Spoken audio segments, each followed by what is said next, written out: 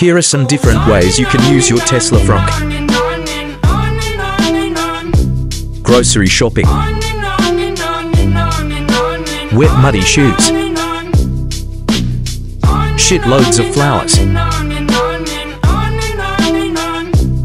And the absolute best, hot takeaway food.